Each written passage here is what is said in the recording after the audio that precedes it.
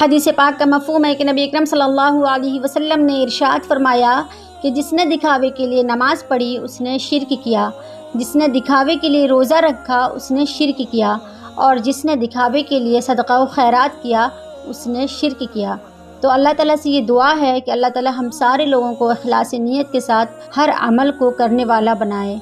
आमीन।